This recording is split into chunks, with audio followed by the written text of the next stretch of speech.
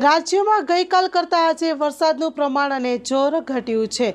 મહેસૂલ મંત્રી એવા રાજેન્દ્ર ત્રિવેદીએ માહિતી આપી હતી. આવો જોઈએ તેનો વિશેષ અહેવાલ. સૌ ગુજરાતવાસીઓને સવારના પ્રણામ. ગઈકાલ કરતાં આજે ગુજરાતમાં વરસાદનું પ્રમાણ ઘટ્યું છે. એનું જોર પણ ઘટ્યું છે.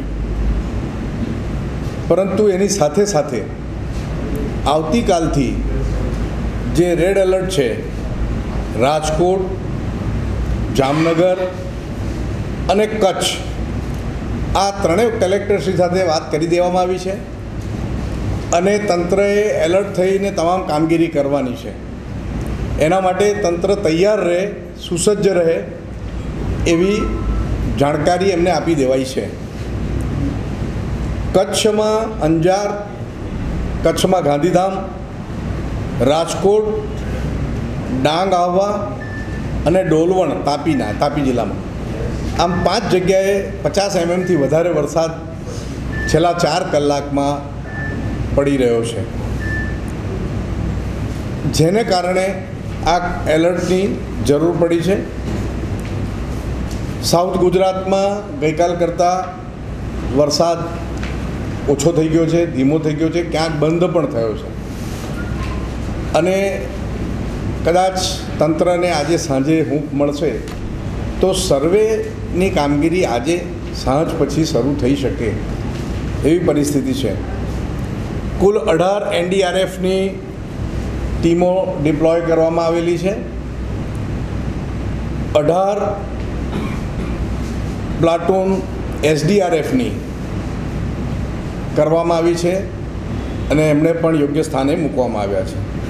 રિઝર્વમાં પણ ટીમ આપણે રાખી છે, જેથી કોઈપણ પરિસ્થિતિને પહોંચી વળી શકાય. મારે એક સારા સમાચાર એ પણ આપવાના છે કે સરકારની સૂચનાઓનું સામાન્ય જન અનુકરણ કરે છે, સલાહને સ્વીકારીને ચાલે છે અને તેને કારણે રેસ્ક્યુ કરનારની સંખ્યામાં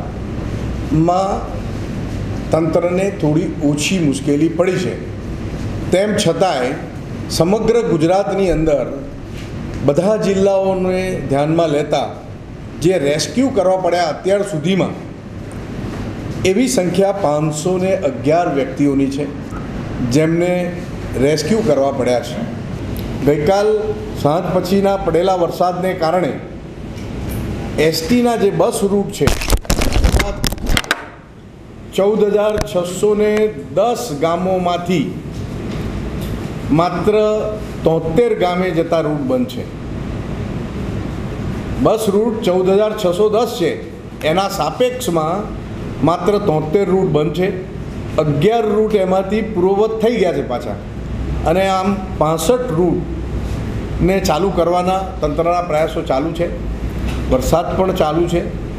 પરંતુ અપેક્ષા છે કે ખૂબ ઝડપથી તમામ બસના રૂટ જે પાસઠની સંખ્યામાં છે એ ચાલુ થઈ જશે.